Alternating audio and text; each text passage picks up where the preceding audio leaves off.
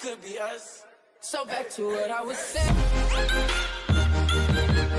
Could, be us. Take two.